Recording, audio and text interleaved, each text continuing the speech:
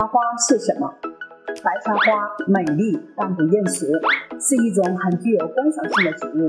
它看起来气质优雅，可以让人们感到赏心悦目、心旷神怡。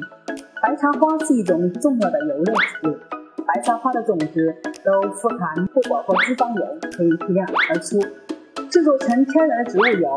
另外，白茶花无毒，能够提取初碱，来制作天然无公害的皂素，并且花瓣中含有丰富的多种维生素、蛋白质、脂肪、淀粉以及各种微量的矿物质等营养物质，人们食用了对身体很有好处。